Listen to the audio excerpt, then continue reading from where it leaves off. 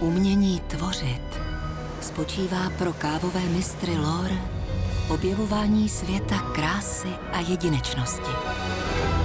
Aby dali vzniknout mistrovskému dílu a vy se tak mohli oddat dokonalým chutím a bohatému aroma. Lor. Mistrovství chuti.